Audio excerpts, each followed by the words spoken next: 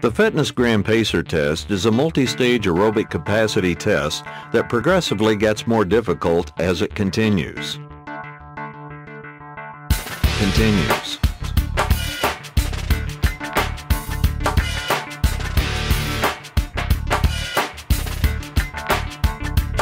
Welcome to the Safety Doc Podcast with author, radio host, and nationally recognized safety expert, Dr. David Perrodin.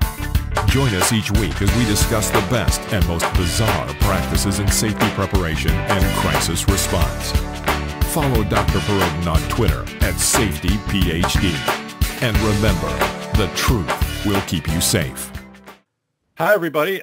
I am Dr. David Perrodin, host of the Safety Doc podcast, filmed live down here in the North Star recording studio, and it is a brisk 51 degrees right now in the North Star recording studio. Believe it or not, folks, it's actually dropped a degree since I came down here a while ago. But it is the better option of the two because outside right now it is minus four, which might be our high for the day. So yeah, it's chilly right here, but you know what? Um, we're going to heat things up today by having guest Drew Baye on and also talking about fitness. Um, you know, we talk so much on the Safety Doc po- podcast about uh, well-being, about physical safety, but we don't talk about how fitness intersects with safety. There's that connection there, and especially with kids, and there's a a lot of things happening right now in schools that we need to address. For example, schools deciding not to have kids participate in physical fitness. Um, the reasons for that, the ramifications for that. So let me tell you about Drew. So Drew Baye has been teaching and writing about exercise for over 20 years, during which time he has personally instructed hundreds of clients one-on-one through tens of thousands of workouts. He maintains the number one blog on high-intensity strength training. Check it out, baye.com, B-A-Y-E dot com, and has been featured in several books about exercise, including The New Bodybuilding for Old School Results by Ellington Darden, PhD, Heart Strong by Ken Hutchins, and The 4-Hour Body by Tim Ferriss. And he is also Dungeon Master, Dungeons and Dragons. He's there. So, um, Drew, thanks so much for being a guest on the Safety Doc. Oh, thanks for having me on. Glad to be here. Looking forward to it. So let's get started. How can people contact you? And, and if you can share some of the work um, that, that you do, because, yeah, I, I want to make sure that we, we address that, you know, right up, right up front, because I think a lot of people are very interested. The easiest way for people to get a hold of me is by email. It's just drew at baye.com, and they can find that just by going to my website, baye.com, B-A-Y-E. So if they got questions, they're welcome to email, uh, comment uh, with their questions and blog posts. And I can be found on Twitter, Facebook, pretty much everything else by just searching for Drew Baye. Okay. And Drew, um, you know, I, I've seen a number of your social media posts, and so people who are uh, want to learn more, they're serious about fitness. Um, tell me what you can what you can do for those those folks. Um, I offer one-on-one consultations and online training. Uh, and how that typically works is we'll set up a phone call or a Skype call. I'll have them complete a detailed health history and exercise and diet history questionnaire, all that stuff. And then we'll talk about what they want to accomplish and help them put together an exercise and nutrition plan for that, go over all their questions. That's it in a nutshell. Obviously, there's a lot more to the process, to the system than that, but basically what I do, help people okay. troubleshoot their uh, exercise and diet programs. And something that uh, that stood out to me is you know you'll share and say hey today i was helping somebody who's you know 75 years old or somebody who had you know some kind of you know medical event or or some type of disability where we kind of think maybe physical fitness training doesn't apply and you're like absolutely it does. I mean it applies at, at any age.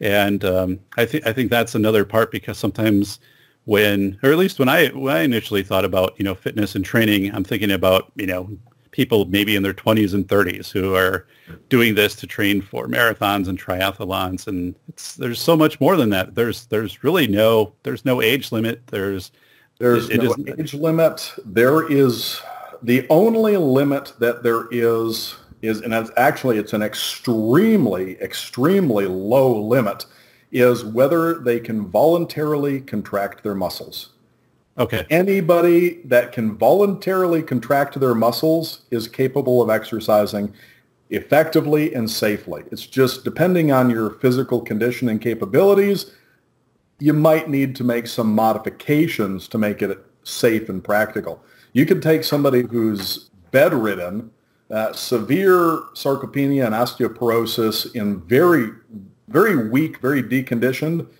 and still have them exercise. It's just you would not train them the same way that Right. you would a college or a professional athlete. Same principles, but the application is going to be very different depending on the person, but they can still exercise.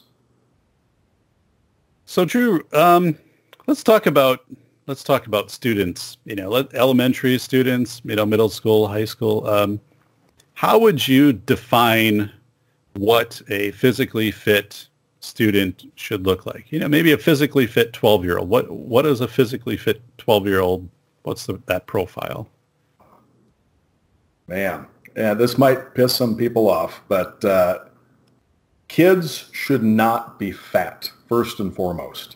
Uh, in fact, most kids, if they are active enough and if they are being fed properly, healthy food in appropriate amounts should be relatively lean.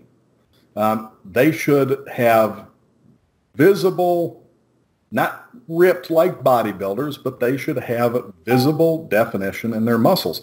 Um, look at some of the films from physical education in the 1960s. And, you know, the guys were going through a lot of the drills shirtless, just in gym shorts, and you can see almost every single kid had visible separation in their abdominal muscles and the muscles of the back and arms. Uh, and you barely ever see that now. It's it's a shame because there's no reason that it shouldn't still be that way. But that's that's what kids should look like. Kids now should still look like kids did back in the 1950s and 1960s. Okay. You know, I I remember when I was in uh, high school and I was uh, 162 pounds and, you know, really active and, and you know, playing different sports. But, um, but yeah, I, I, you know, remember my classmates. I mean, we were all kind of in that range. I go back and going through some yearbook photos and, um, but you're, you're, so, so we talked about, you know, the, the profile of a physically fit student. Um, so I, here's the argument that comes up on the, on social media right now when they, you know, they're, they're talking about physically fit students. Um, why are kids not as physically fit today? Is, it- is it that big of an issue? And, and some people write, well, maybe it, it, how much of it is diet related? I guess that's my question because someone Most will say, when I was growing up, I would eat, it seemed like I could eat anything, you know, like um, hot dogs, Doritos and things like that. But I was active, so it didn't show on my body. But how much of that is really true versus maybe we actually were eating much better, you know, 30, 40, 50 years ago? Well, it's both the type of food and the quantity. Um, and they've done studies on this, and I can't cite them off the top of my head, but they looked at activity levels versus calorie consumption and found that the amount of food has been a much larger factor than activity. Although, and this is something that a lot of people don't consider, they assume that if you're more active, you're going to be burning more calories, although most people overestimate the amount of calories burned during activity. And also there's studies showing that the energy expenditure doesn't increase proportionally to the activity.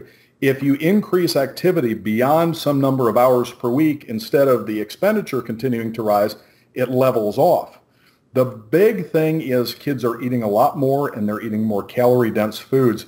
But with activity, and the thing that a lot of people don't appreciate is although you don't burn that many additional calories getting out and moving around.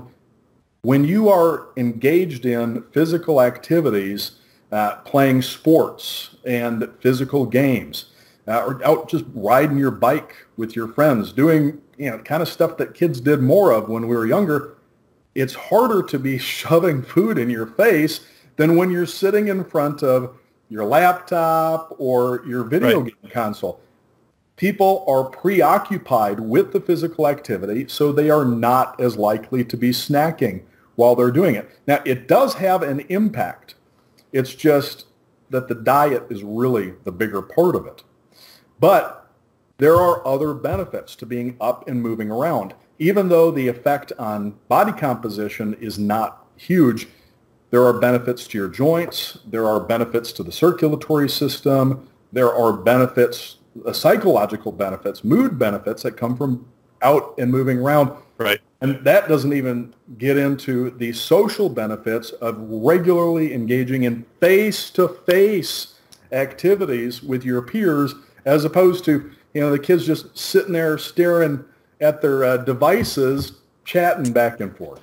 So I think we're missing a lot by not having kids out moving around, doing stuff with their friends rather than sitting in front of their Xboxes or PlayStations. There's you know, no harm in that a little bit, but they can't be doing it all the time. Same thing in school with the physical uh, education it's probably not the most important thing that they could be doing during the day. That's something that they should be getting at home and on weekends. But since they're not, we ought to be including it. Plus, and I haven't read a lot of the research on this, but if I recall correctly, there are benefits to concentration and learning from being able to get up and right. move around during the day instead of being seated the entire time which is, you know, even if you take an hour away to do some sort of physical activity, if it benefits concentration and learning during the rest of the day, it's worth that investment. Thank you for tuning in to the Safety Doc Podcast with the nation's leading safety expert, Dr. David Perrodin author, radio show host, university instructor, researcher, expert witness, and consultant. Powerful testimonials. Dr. Perrodin has a strong reputation as the go-to safety consultant, and he was still able to exceed our expectations. When we went looking for an expert in the field of crisis preparedness and prevention, David was the single person we pursued. Not easy stepping into the touchier subjects of life, but Dr. David pulls it off. Take a listen.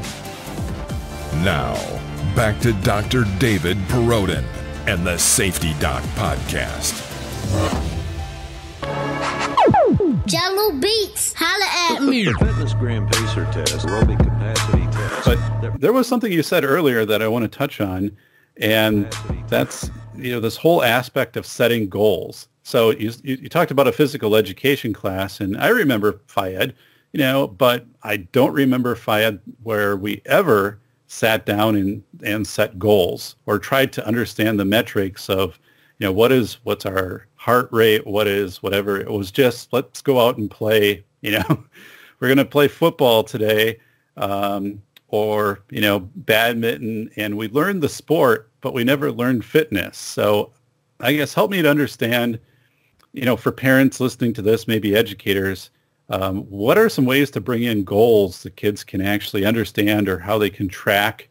Because if we do that, you know, it, it is, it's definite, right? Anything we write down, I think we're 40% more likely to do. Um, and then we also just become more committed and invested to things once we once we start putting it into into writing. But yeah, it's completely, I think, missing. How how how would you recommend well, that? Yeah, now now that you mention it, I can remember all the physical fitness tests that we did when we were in phy ed, when we were in grade school and we were in high school, and uh, always looked forward to that because it was kind of a, a time to show off for some of us. But again, back then, if you were out of shape, if you were a little bit heavy, it was unusual, not the norm. Now it's kind of the other way around. But for all the testing they did, there was never any discussion of how some people might improve upon where they were. It's just, where are you? Okay, here's, here's where you fall. I don't recall any of my physical education teachers ever sitting down and talking to us and saying, okay, this is what your score is, and this is what it ought to be, or for some of us, this is what you can do to improve it even further. Right. Most of it was about learning various games and sports. And while there may be some social benefit to that, there's definitely some psychological benefit to that.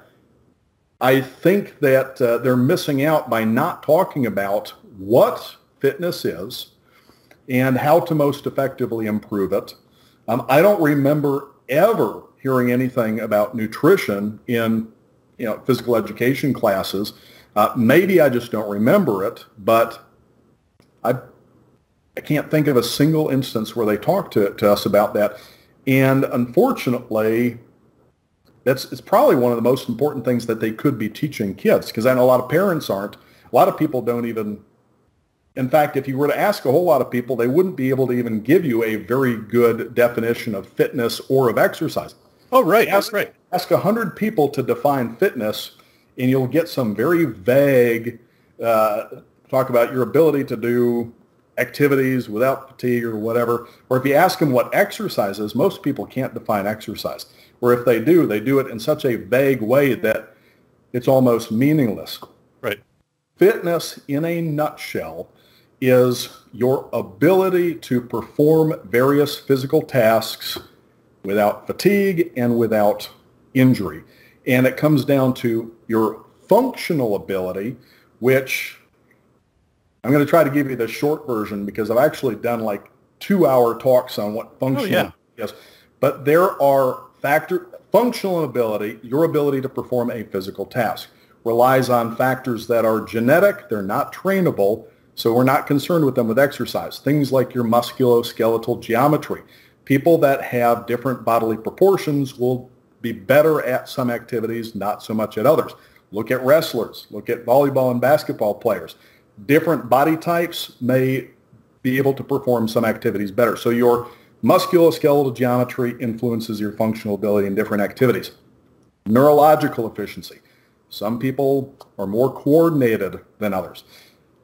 Not really trainable. But then we have the trainable factors of functional ability. Some of them are general. If you improve them, they apply to everything else that you do. These are your muscular strength and local muscular endurance, your cardiovascular and metabolic efficiency, your flexibility, your bone and connective tissue strength because no matter how strong your muscles are, they can't exert force on the rest of the world without transmitting that force through your joints sure. and through your bones. If you got weak bones and the connective tissue, you're going to get hurt doing stuff. And body composition. And the body composition is probably a big one with most students. When most people think body composition, they're thinking about looking good on the beach. How much muscle do you have versus how much fat? But the reason it's considered a factor of functional ability or fitness and not just about looking good is the more body fat you have, the more mass your muscles have to move either to move yourself around or right. in attempting to, if you're going to pick something up, you're not just moving the object, you're also moving the body segments that are involved in picking it up. And if a person gets fat enough, their fat can actually start to interfere with their, their flexibility. Oh, Beyond sure. some point, it gets in. For example, the sit and reach test. People think of the sit and reach where you're sitting on the floor, your feet are against a box, and you're trying to reach forward. It's as much a test of body composition as it is of flexibility. Because regardless of how flexible your hamstrings and lower back are, if you've got a big fat belly, it's going to get in your way. Right. And what, what people also don't realize is it's also a test of a non-trainable factor, which is bodily dimensions. I have very short legs and very long arms for my height. And because of that, with my feet against the box and reaching, I went further than these little girls who were gymnastic, who were gymnasts who could practically fold their bodies in half just because of the chimpanzee-like proportions. So, but the body fat gets in the way of moving. The fatter you are and the less muscle you have, which is really the problem a lot of people have, they're not just over fat, they're under muscled, the less capable you are of moving your own body. The more fat and the less muscle, the harder it is for you to run, to climb, to jump, to fit in places if you need to get through something to be able to either get out of a dangerous situation or get to safety. So these are the factors of functional ability. The best way, the safest way to improve all of them is with strength training. Most people think of strength training as a way to just increase muscular strength and size, but your heart doesn't know the difference between different physical activities. The only thing it knows is metabolic demand. If you jog, if you cycle, if you swim, the reason your heart rate goes up is because it's working harder to support the work the muscles are doing. Right. If you strength train with a high intensity of effort, and it doesn't mean using very heavy weight, just continuing an exercise until you can barely move the weight that you're using, and that could be barbell, machine, or your body weight. If you do this using exercises that involve the bigger muscle groups, you actually have the same type of stress on the heart that you get from jogging or cycling or swimming or doing these other activities, but you get it at the same time that you're stimulating these other benefits. Okay. Flexibility improves by just moving through a full range of motion on a regular basis. And you strength training will do this, uh, but you can get it doing a lot of other activities. Bone and connective tissue strength increase with muscular strength. And body composition is mostly a matter of diet, but the more muscle mass you have, the higher your metabolic rate, the easier it is for you to lose fat. So strength training, if it's performed properly, addresses all of these things and should be the focus of a physical education program. How to strength train to maximize the benefits to all these different factors of functional ability. Now, when it comes to exercise, I, I said earlier, a lot of people can't define exercise, or if they do so, it's very, very vague. And I would define exercise as a process whereby the body performs work of a demanding nature in accordance with muscle and joint function for the purpose of creating tension and fatigue in the targeted muscles to stimulate improvements in muscular strength and size, and through the stress on the muscles, to place a demand on and stimulate improvements in all of those other supporting systems. Basically, strength training performed in a way that benefits all of the general trainable factors of functional ability.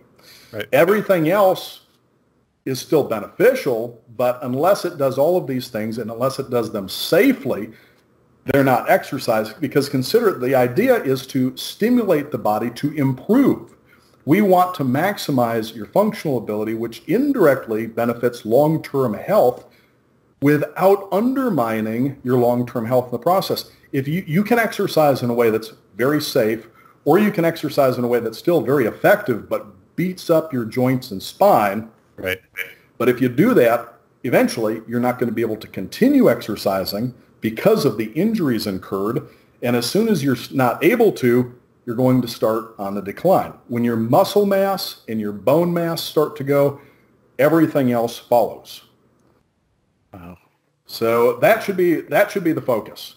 It should and be. the And testing should be used to determine, you know, where the kids are starting out and what is a realistic degree of improvement to encourage, as well as there, there needs to be some kind of dietary counseling. Now, unfortunately, it comes down to the parents because the kids are eating what their parents are. Well, also the schools though. Um, I I've seen some of the school lunch menus: pizza, you Right. fried chicken. got it. Um, just they're they're not giving these kids steak and vegetables or grilled chicken breasts and things like that. Um, but the parents need to be educated on this, and unfortunately, a lot of them aren't. Actually, they're worse. They're not just not educated; they have been badly misinformed by the massive amount of advertising telling them things like cereal is good for them for breakfast. Right. Uh, so there needs to be education on how to safely and effectively strength train and how to do it in a way that is sustainable because a lot of what's promoted is just absurd in terms of the recommended weekly volume and frequency. A lot of people won't adhere to that. Most people don't realize that if they do this stuff correctly, about 20 to 30 minutes, two or three times a week is as much as anybody needs. That's and amazing. Yeah, if they just want to get you know, good level of physical conditioning and health with the minimal investment possible, once a week is effective. It might not be optimal, but it's highly effective if done right. And but they also they need to be talked to about nutrition. And their parents need to be talked to about nutrition. If you go home, you could know as a student everything you need to about what you should be eating and how much. But if your mom is going to the grocery store and she's bringing home, you know, mac and cheese and pizza and you know she's giving you cereal for breakfast and all there is to drink in the house is well there's water of course but is juice and sugary drinks you're kind of stuck with it as a kid So like starting out the morning with oatmeal. I mean, it's, it, I mean, like oatmeal, um, you know, not from a, uh, you know, little rip container that you pour in and add water, but like, you know, oatmeal where you got to boil the water, you know, let the oats go in and it's it's That- not the absolute worst thing that you could eat for breakfast okay. If you look at food in terms of nutrients relative to energy, uh, we need to have a certain amount of protein per day. And if people exercise, and by exercise I specifically mean strength train, everybody should strength train. In fact, nobody would even think of stopping brushing and flossing. Everybody brushes and flosses because they know they have to. If they don't, their teeth are going to decay, they're going to look bad, they're not going to work right, and they're going to have other health problems. Exercise is exactly the same. We should think of exercise the same way we do brushing our teeth. It's just something that you do to maintain your overall health and fitness. So everybody, there, every single person should strength train. In the same way that everybody should be brushing their teeth, everybody should be strength training in a way that is safe for them. Obviously, it does vary between individuals, but because of this, we need more protein, so that's a consideration. Um, for people who strength train, which should be everybody, should be getting twice the RDA of protein. So you want to make sure that you're eating foods that give you a, or at least meals that give you a relatively high protein to energy ratio. You also want to get adequate micronutrients. And the best way to do this is with a variety of good quality meats and plant foods. I know we got some, we've got some, uh, I'll say cultists, because that's really what it is, that are in the extremes of veganism or now you've got the carnivore diet. They're all nuts. And I know a lot of them are going to get upset with me saying, you're all completely nuts. We are omnivores. We do best with both. Now, some individuals will do better with more or less of either, but there is no single, this is the way every single human has to eat. Principles, same for everybody. Best application of the principles is going to vary between individuals. But in general, you want to have a good, you know, get enough protein, but also have enough micronutrients, meat, fish, eggs, lots of leafy vegetables, and moderate amounts of fruits and nuts, things that are more calorie dense. And that's another reason to opt for these. You want to eat foods that are going to be very satiating, either because of the effect on hormones, protein. You eat higher protein foods, you're not going to be as hungry. You're less likely to overeat. Foods that have a lot more fiber, a lot of plant matter, not the starchier stuff. You want to be careful with that. But if you eat a lot of protein and a lot of fiber, you're less likely to overeat most of the foods that are packaged things, most of the snack foods are designed to be easy to overconsume because if you eat them and you're still hungry, you're going to buy more. Combinations of fat and carbohydrate and salt devoid of most other nutrients. Just, I mean, sit down and try to finish a 12 ounce steak. You're going to be stuffed by the time you're done with it. But if you had, I'm trying to think of a, a, a crappy, you know, something like uh, a bowl of, uh, uh, what is it? I can't remember, Fruity Pebbles or something like that. Okay, sure, sure. Person could sit down and finish bowls and bowls and bowls and consume far more calories worth of that and barely be full. Right. Or rice. It is very easy to consume a large amount of rice and consume a massive amount of calories. But rice and grains, and I know some people say, oh, grains are poison, legumes are poison, all this stuff is, it's not poison. And they'll say, oh, well, the, you know, phytotoxins and anti-nutrients and all that. Well, it's not going to kill you if you're not eating a massive amount. You can have oatmeal for breakfast, but you wouldn't. You'd want it to be the side, like little bit of oatmeal, maybe with some berries or some fruit cut up in it. But the majority of the breakfast and the majority of most meals should be meat and vegetables.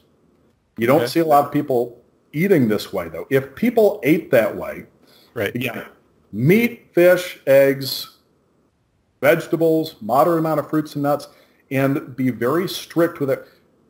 Very strictly limit things that have a lot of calories, that are easy to consume, that don't make you full, but have very little protein or nutrients. Anything with a lot of sugar, anything with a lot of refined grains.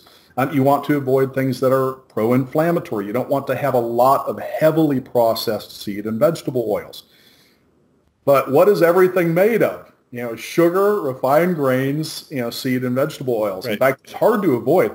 If you go through any grocery store and you walk down some of the aisles and just pick random boxes of things and read it, there's corn syrup and there's, you know, soy in almost everything. Flour, it's sugar, it's just mostly garbage. The kids have, again, getting back on point though, the kids have no control. So they can be taught, but ultimately to fix this, the parents need to start taking responsibility for what they're putting on their kids' plates. And yeah. That's real that's not on the schools. And it's not it's not the school's fault. The, the schools and teachers are expected to do a whole lot that they really shouldn't be. That sure. really ought to be the parents' responsibility. So, but how do you do that? How does the gym teacher yeah. say, you know, little Johnny and little Susie, it's your parents' fault that you're fat. And I want you to tell them that I said that. And this is what they need to take this list and this is what they buy next time they go to the grocery store. Tell them to clean out the pantry, throw out the fruit roll-ups and right. the sugary cereals. Tell them to toss, you know, all of the, what, like Pop-Tarts and all of this other stuff yeah. and start giving you some steak and vegetables for your lunch. Um, of course, the parents are going to freak out. But that's but I guarantee you too, if little Johnny and Susie come to school and their waist circumference is the same as their height, their parents are probably at least as big. So they probably need to, to hear it.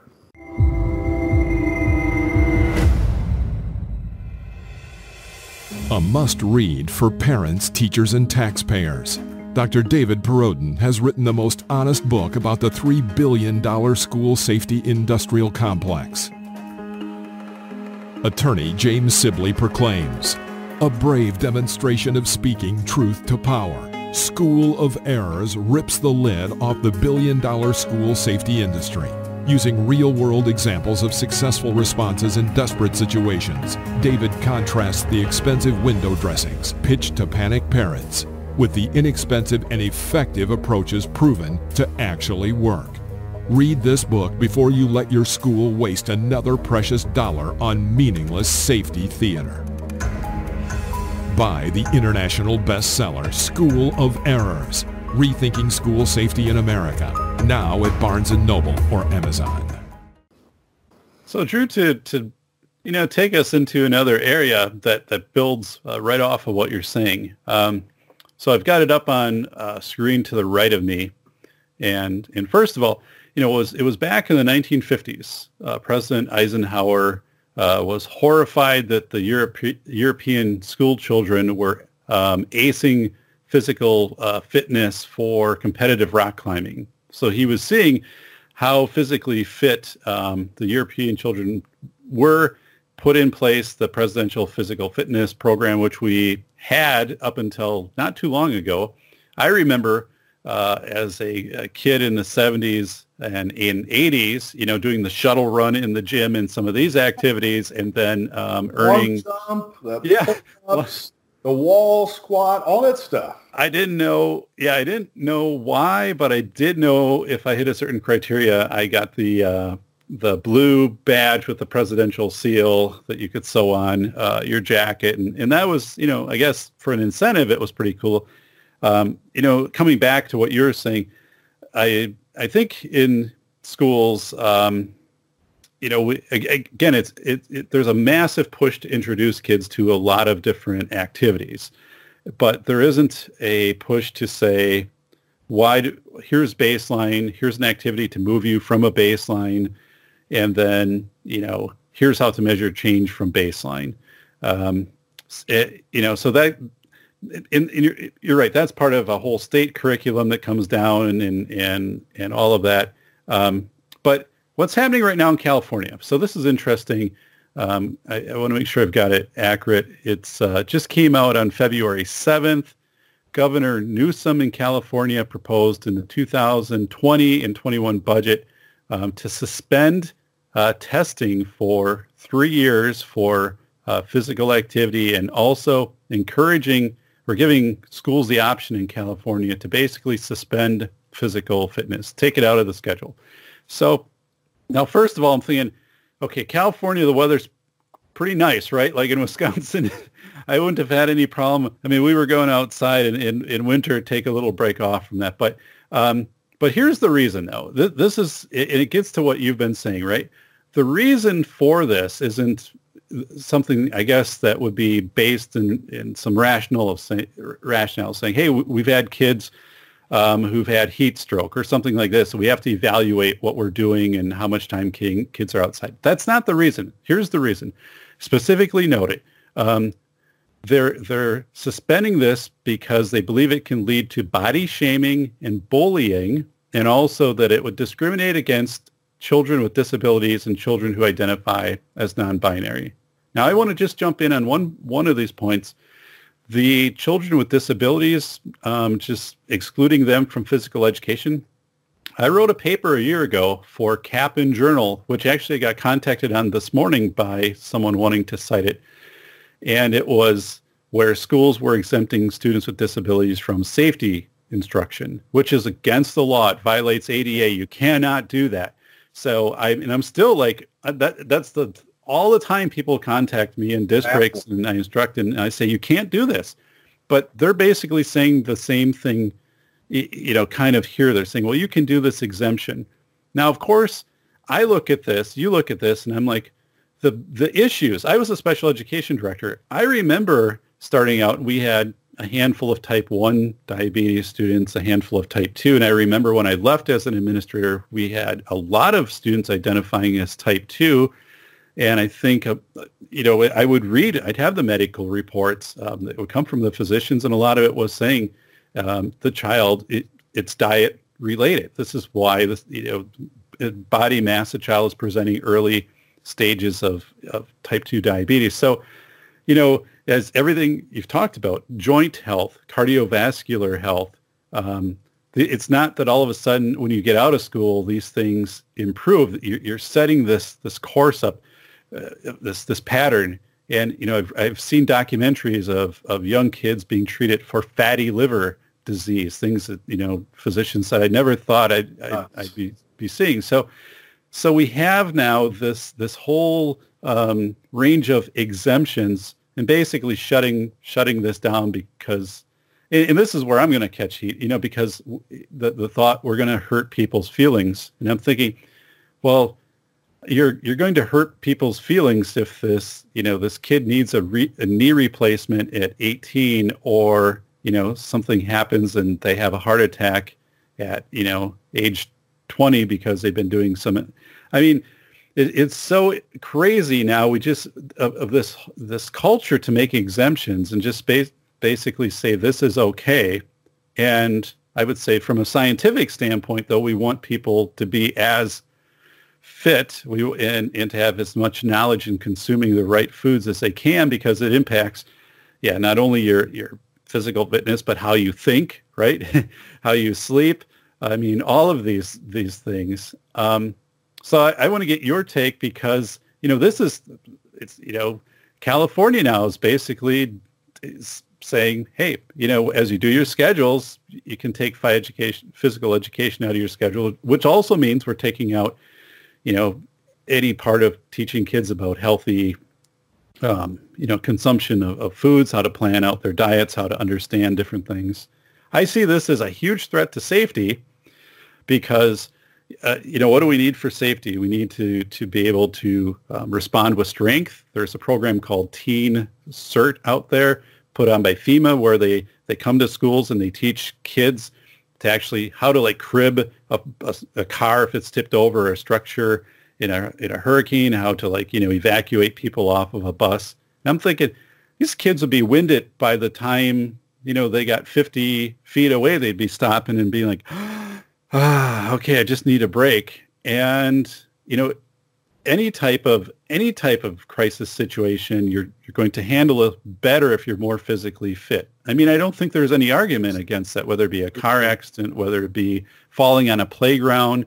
Um, you, you know, if you had an injury, um, if you're physically fit, it would be less of an injury. You'd be able to recover from it sooner. But um, give me your perspective and, and your voice into this because I'm looking at this saying, this is actually happening. I can't believe that this is this is where we're at. It's insane. Um, I don't want to go too. I'll, get right to the safety point because otherwise I could talk for hours on the other stuff. I'm just going to say they're absolutely out of their minds.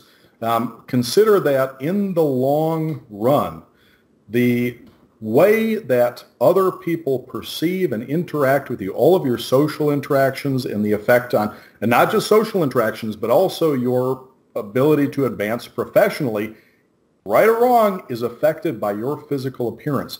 I would rather say something that somebody's going to be a little bit upset about when they're younger that puts them on the path to getting themselves in the best shape possible than spare their feelings when they're younger and have them have a life of misery because they figure they should be able to do whatever and not have anybody say anything that might bother them, knowing that still it's going to negatively affect all of the social interactions from then on out. It's, it's absolutely insane. Um, doctors are running into this too, though. So there are some doctors who are now afraid of telling their patients what they need to hear because they're worried that they're going to get complaints. Listen, so-and-so, you're fat. You need to change this and that and the other thing, or you're going to end up with all these problems. That's what you expect to hear from your doctor if you're fat, but they don't even want to tell people that because they get upset over it. Right. From a safety standpoint, there's a couple different things. Um, mobility. One, your own ability to move your body, but also how easy it is for other people to move your body. In a, you know, like a school shooting situation or in a lot of other disasters, a lot of people, they think run from danger, not the mindset. You want to run to safety rather than from danger. Just going away from the danger without knowing that where you are going to is safer is problematic. But to be able to move yourself away from the danger and towards safety is going to be so much easier if you are stronger and not fat because you will be able to, all else being equal, the stronger you are, the faster you are able to move. The less fat you are, the faster you are able to move. Also, if you are less fat, you are more easy, you can more easily extricate yourself from a like if you're trapped in a car and you only have a cert, you can only get the door open so far. Or if there's some other opening, a door can only open so far. Or if there's a collapsed building and you only have a limited space that you can move through. If you're really fat, you're not going to be able to do that. So you need to be strong and you need to have a healthy body composition to be able to move yourself to safety. If you are stronger it will be easier for you to aid other people that need help right. getting to safety. And then something a lot of people don't consider is the less fat you are, the easier it is for other people to pick you up and carry you or aid you in getting to safety if necessary. A few years ago, we were on vacation in South Florida.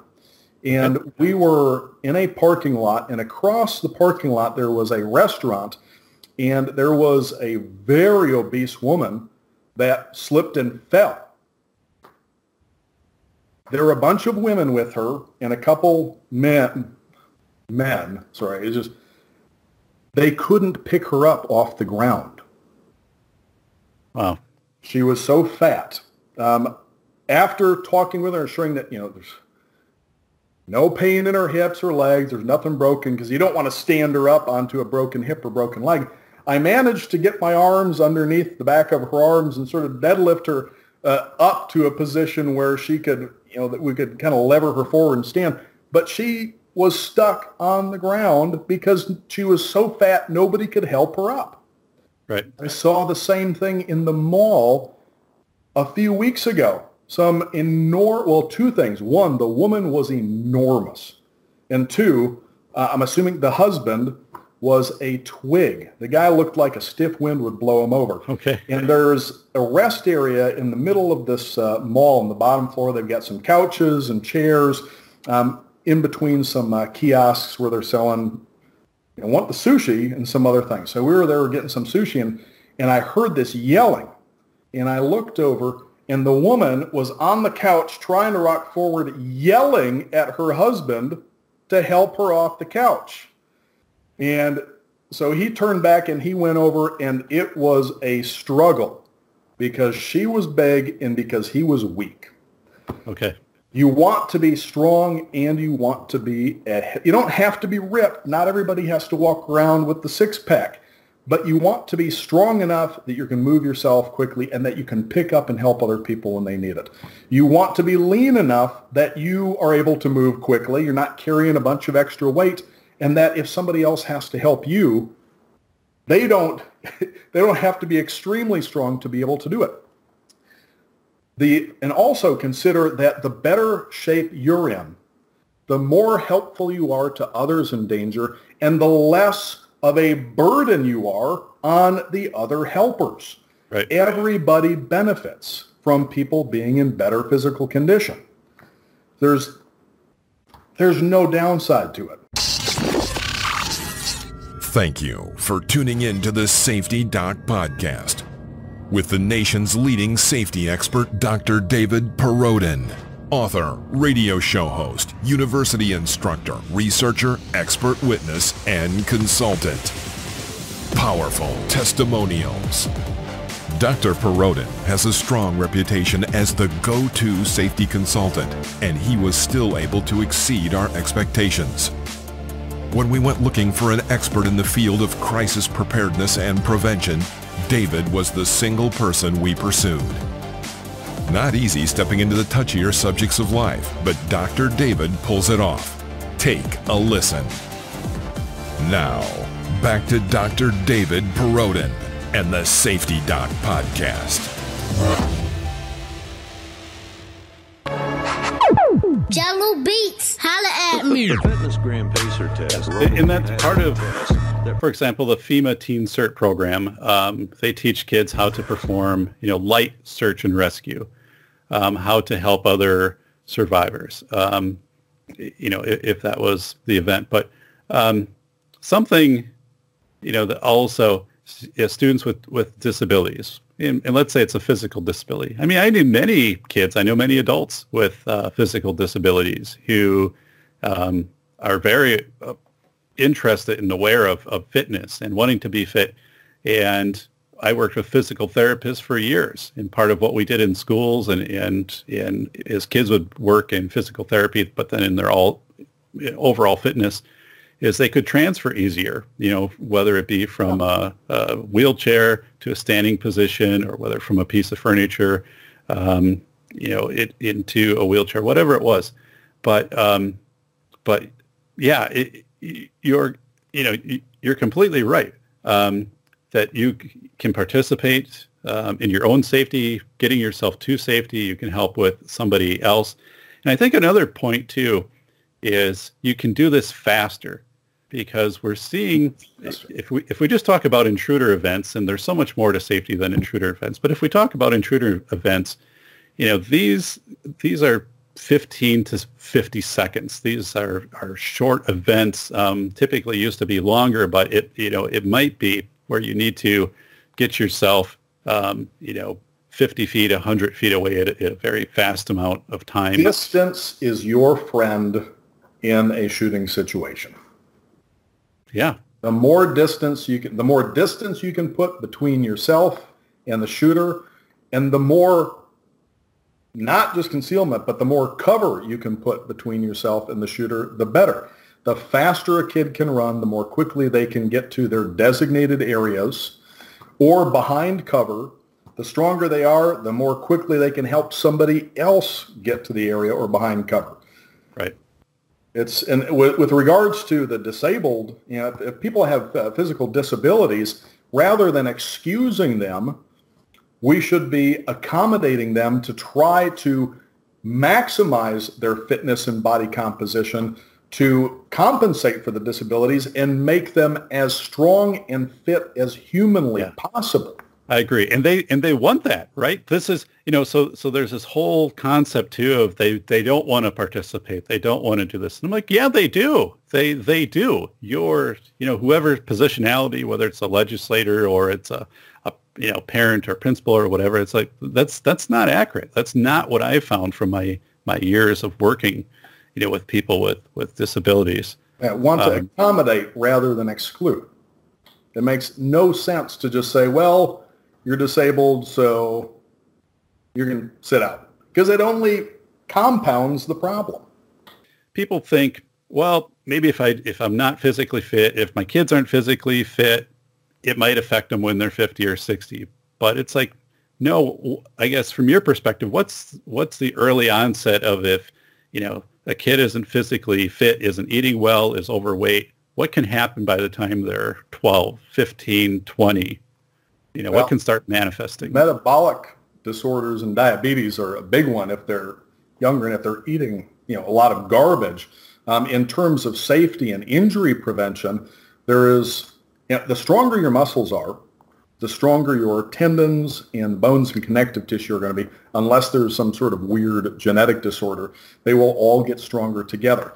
You are less likely, if you have to do something that's physically demanding, you're less likely to pull, you know, strain or tear a muscle, you're less likely, if your joints and bones are stronger, to have a sprain or a, you know tear a, a ligament or to have a broken bone. Bone density goes up with strength training measurably. It's a, strength training is the best thing that uh, people can do for improving and maintaining a high level of bone density. So it literally it makes you more resistant to injury. In fact, neck exercise specifically has been shown to significantly reduce the incidence of concussions. Um, okay. There, I can't remember the specific uh, football team. There was a college football team that after they started having their football players do loaded, you know, neck, neck flexion extension, a couple other exercises, they cut the rate of concussions in half. So if your kid, well, you'd assume that, you know, if your kids are playing any kind of sports, you know, parents would realize, okay, well, they got to do some sort of physical conditioning with it. And they often assume that there's going to be some physical conditioning component to the practice. Not all schools do that. But it's not just for, again, little Johnny or Susie playing football or um, soccer. Just kids, you know, out running around doing things, skateboarding, cycling. If they are stronger, they take a fall you know, stronger bones could be the difference between maybe a bad bruise and a trip to the ER to get a cast put on something. Right. Uh, it it does make a significant difference, and the more muscular you are, the stronger you are, the better you are able to correct if you start to lose balance or to you know. Again, some of this is just learning gross motor skills and practice, but better able to protect yourself if you do have a fall or if there is an imminent collision. The stronger you are, the better condition you're in. Generally, the harder you are to hurt. So, yeah. I, again, there's really there's there's no there's there's no downside to it. Yeah, it, it, yeah. So I mean, we keep coming back to that. You know that there there isn't a downside. There's, Takes a little bit of effort. That's that might be the only. But there's a cost for everything. If you want something, you, you're going to have to pay something. Time, effort, money. In this case, a little bit of time and effort. But that's really it.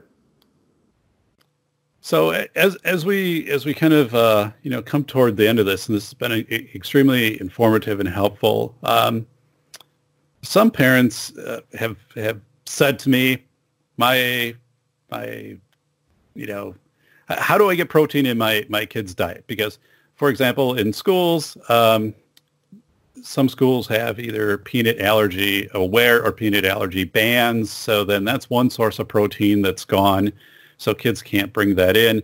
Um, but I do have parents, I have friends, and, and they've said, you know, how do I, what are some protein um, things?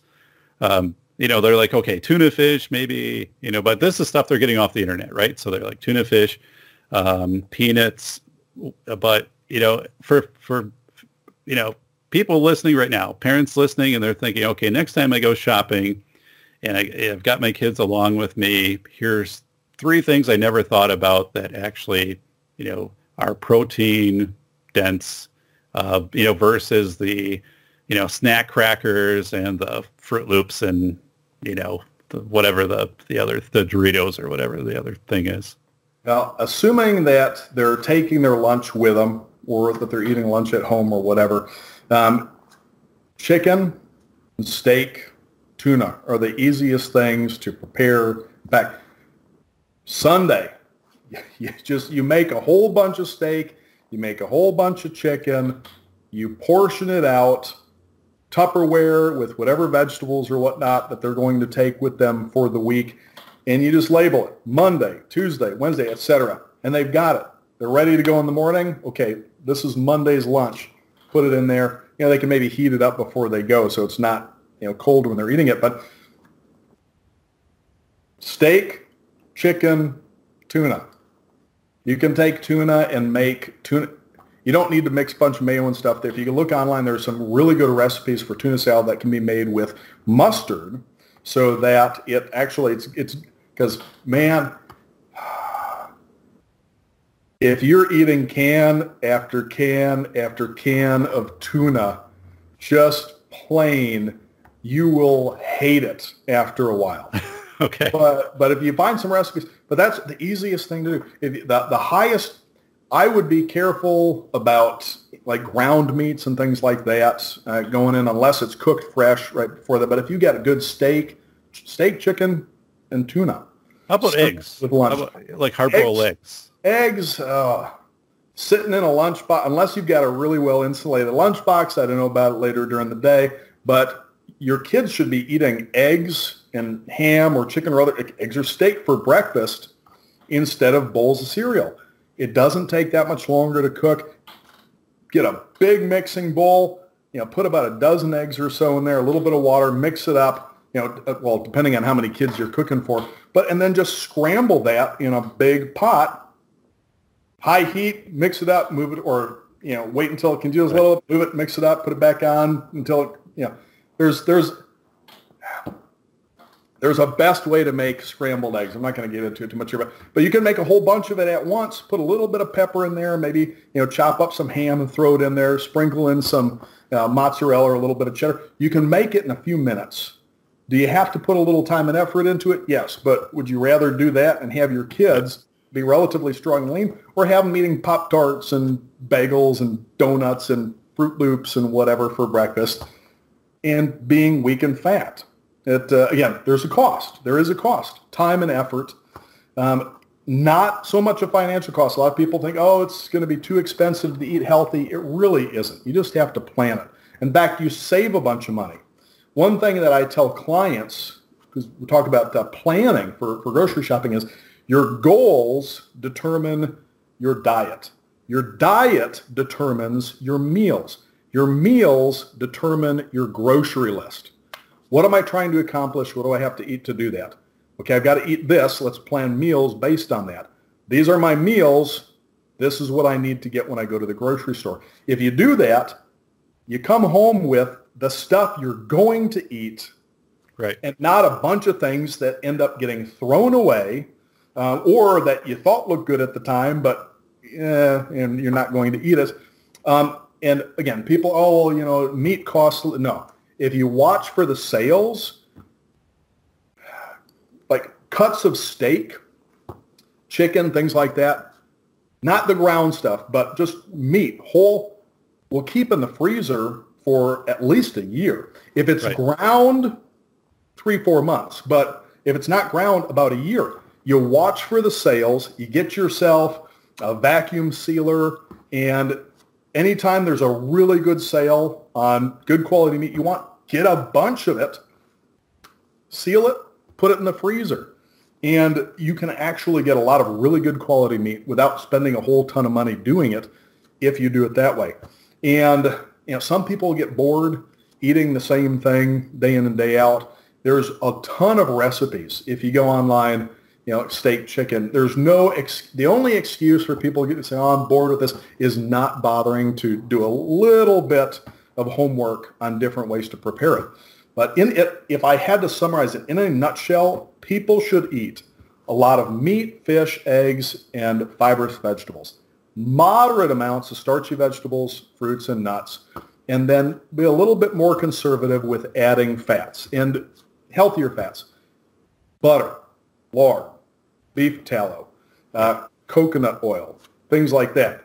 A lot of people think butter, lard, that's no, that's actually, it, it's healthy as long as you're not eating massive amounts of it. And again, the things that you want to try to be more conservative with are the things that are you don't have to cut them out entirely. It's not gonna you're not gonna die if you have oatmeal once in a while or if you have pancakes occasionally or whatever. But sugar, refined flours, uh, anything with a lot of processed seed and vegetable oils, those are the kind of things that you'd want to minimize. If it's Sure. high in calories and it doesn't fill you up and it's poor in other nutrients, you don't want to make it a big part. Again, you don't have to eliminate everything. You just don't want to make it a big part of your diet. So with the groceries, it's not going off on a little tangent here. It's not that expensive if you plan and you don't buy a bunch of garbage that you're not going to eat or you're going to end up throwing away. Just know what you're giving your kids every day in yourself every day. Buy that. Again, take advantage of the sales for meat. Freeze it. Check before you shop. Do I have something that I could use this week? Okay, we'll pull this out. It just takes some, again, there's, there's a cost for everything. In this case, it's the time that goes into planning. If you invest a little bit of time in planning, you'll save a lot of money in grocery shopping. How about um, you know just drinking water? Because uh, you know going d- going down the grocery shopping aisle and people pass you, and then they they configure those you know eight packs of soda over the sides of the rails on both sides, and and um, you know just just um, you know how, how about People should know, drink- drinking water? It doesn't necessarily have to be water, but calorie-free drinks. You don't want to drink your calories if you can avoid it. There's an exception to that. I'll get, I'll get to it though. But most people would do better drinking more, you know, a little bit coffee and tea in the morning, but more water throughout the day, and not, you know, loading up on sugary drinks at uh, Starbucks. If you get coffee, just get coffee. Maybe put a little bit of creamer in it if you want, Right. but you don't need to have a, you know, grande basically with in three days worth of sugar in it. Yeah, that's and I, I remember talking with a trainer years back, and uh, they had a client that swore that they were following the diet that they gave them, but they still weren't losing fat. And when they sat down and finally went over exactly what they were eating and drinking on a daily basis, they found out that this person was drinking these Snapple teas all day Oh. long, and Okay. they didn't realize that they were full of sugar. They thought that there was no calories in them. And uh, people have no idea how much they're drinking. Now, the only, and this is the only time that I Okay. would recommend people drink their calories is people who are underweight who are having difficulty putting on a lot of muscle because there are some there's two problems. You don't want to be over fat, but you also don't want to be under muscled. Ideally, you want to have a not everybody has to be massively muscular, but you want to have a good amount of muscle on your frame. Muscle is your body's motors. The more muscle you have, the more you can do. Also, a lot of people don't realize the health of your circulatory system depends largely on your muscle mass. Your, I don't want to go off on, on too much of a tangent with that, but your muscles assist with circulation. Whenever right. you move, you're contracting your muscles. They exert pressure on the veins, and it helps drive venous blood back towards the heart. Your heart, people are taught in school, your heart is the pump that moves the blood around your body. It doesn't do it alone. Your heart is aided by your muscles, and it's aided by the pressure change in your abdomen versus your uh, thoracic cavity by respiration. The muscular pump and the respiratory pump help your heart to move that blood around. The stronger your muscles are, and especially in the legs, the, the calves, right. the better your circulation. You can't have, well, I shouldn't say you can't have too much muscle. It's almost impossible for any genetically average, drug-free person to have too much muscle. Uh, but some people don't have nearly as much as they would like. And when you're eating a lot of protein and you're not eating a lot of garbage that doesn't fill you up and is just full of calories, sometimes it can be difficult if you're trying to eat healthy, it's very difficult to overeat. I've actually had clients complain to me, not because they're hungry, but because how am I supposed to finish this? Uh, you know, right. you eat half a pound of chicken and a huge bowl of, you know, spinach, cucumber, tomato, other things chopped up in it, not a lot of calories, but it will, it will, you'll feel stuffed after that. You could you could easily eat twice as many calories if it was a big bowl of rice with just a little bit of meat in though. But some people have difficulty, and in that case, I'll tell them it's easier to drink the calories. But for most people, it's a recipe for getting fat because of how easy it is. So there, if you are underweight and you are trying to increase muscle mass, then yeah, drink your calories if it helps you to get enough that you are putting on muscle not so much that you start getting fat, you start getting fat and then you want to cut back. But if you're having difficulty losing fat, if you are fatter than you ought to be, then you should not be getting, you don't have to cut out, you know, you can have a little milk once in a while, but you shouldn't be right down in orange juice and sodas and what was it, frappuccinos and whatever else they load full of sugar at Starbucks. Right. Yeah. I, and of course, the, you know, the energy drinks, you know, everywhere you go, the, the, the, the big, yeah. you know, most people crack don't it open and they need more sleep. Okay. so, so, you know, in closing, how about, um, you know, a, a parent says, okay, I've listened to this. Um, it's resonating with me. I want to do something, but you know, we live in an apartment. Like, um, what what can I reasonably do for fitness or my kids like push-ups or like you know pushing against the wall or because i'm not going to be you know i might be moving i don't want to invest in anything if you live in i don't have a budget how do how do you respond to that? A chin-up bar that can go in a doorway portable chin-up bar can be put in a doorway and pulled right out of the doorway. You don't have to affix anything to it you don't have to modify the structure and a suspension trainer. Um, let me let me grab something really quick and show you this. Okay. These typically come in pairs. We've got a handle on one end and it's a strap and this is adjustable. Okay. And there's a loop at the top with a hook that just goes through here so that can go over a chin-up bar. So you've got this with the handle, it's adjustable. You gotcha. get a set of those and you get a chin-up bar that just goes in the doorway. That barely takes up any space. The chin-up bar barely takes up any space and you have your kids do squats with body weight, chin-ups, and that's if they can't do chin-ups. Adjust the handles so it's at shoulder height when they're standing. They lower themselves and lift themselves with their arms while assisting with their legs. Okay. They give themselves just enough assistance with their legs that they can complete maybe 10 good slow reps. Then push-ups. Squats, chin-ups, and push-ups work almost all the big muscle groups in the hips and thighs and torso. If they want, they can alternate the chin-ups with a row. You set the handles at about hip height, and with your body straight, you're pulling up. Oh, yeah, gotcha. It's it's like it's basically it's an upside down push up. Instead of pressing yourself Okay. up off the ground and lowering yourself, you're laying on your back. You get the handles, you pull up, and then you let yourself down. As soon as your back touches the ground without setting yourself down, you do the next one. Crunches or a plank for the abdominal muscles. And then you can do a hip raise off the ground or with your shoulders on the couch with the glutes, the hamstrings, low back if you want to rest, or you could prone back extension. And then for the calves, stand holding a door frame for balance, come up on your heels as high as you, or up, raise your heels coming up off the balls of your feet as high as you can go.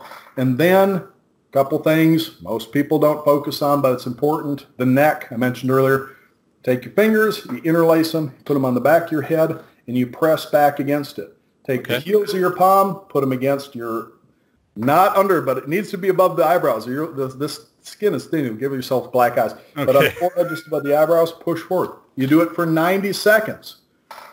30 seconds, moderately hard. 30 seconds, pretty hard. Not as hard as you can, but close. And then as hard as you feel you can safely contract for the last 30 seconds.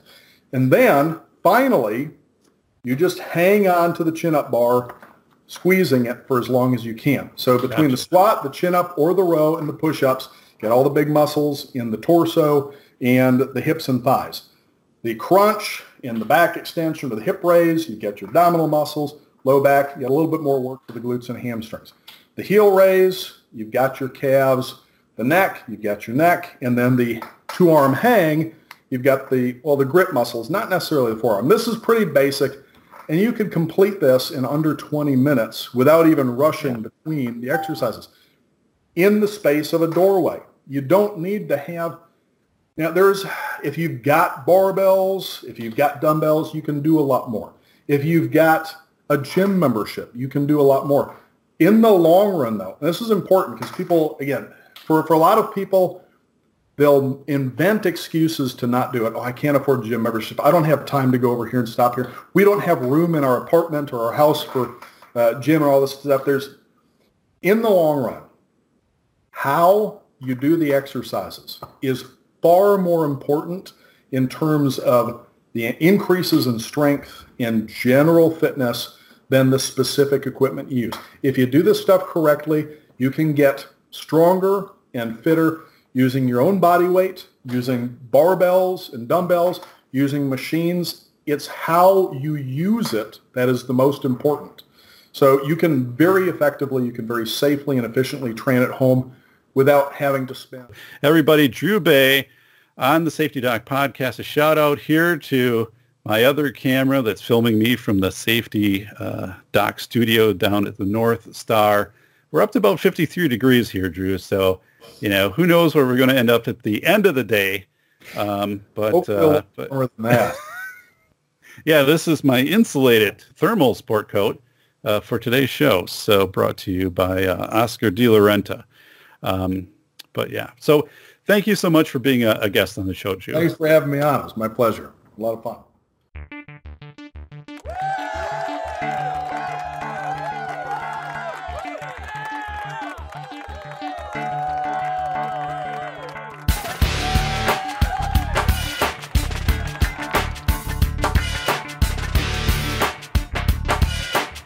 This has been the Safety Doc Podcast with author, radio show host, and leading safety expert, Dr. David Perrodin.